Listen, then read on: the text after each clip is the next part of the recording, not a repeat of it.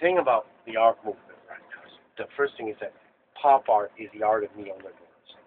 Pop art is the art of, uh, you know, uh, well, pop art is the, the art of uh, particularly Andy Warhol, Keith Haring, uh, Damien Hirst. I'm, I'm, I like pop art to an extent, but it is the art of neoliberalism. It's the artist as entrepreneur, artist with who produces work. Work is bought and sold in a speculative market. The people who are buying it understand about as much about it as they understand about oil when they're buying oil or technology when they're buying technology. In fact, to a way, the art itself has to be secret because you know you don't when you buy stock in Google, you don't know what Google search algorithm is. And that was this kind of art. This this this it, resisted classical and it embraced the market, embraced free trade, embraced sales and market. Two things have happened in the past three years. One is the well the, market has collapsed. The whole underpinning of neoliberalism is a social business.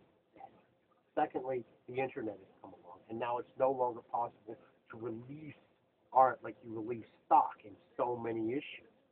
Images can be reproduced, and right now, the people who control the art markets, the movie markets, and stuff are struggling to try and prevent people from copying, trying to criminalize people for copying, right? So what you're seeing right now is a cultural form where there's two events where technology enables people who love art to do what people who love art have always wanted to do, to have copies of everything, to collect.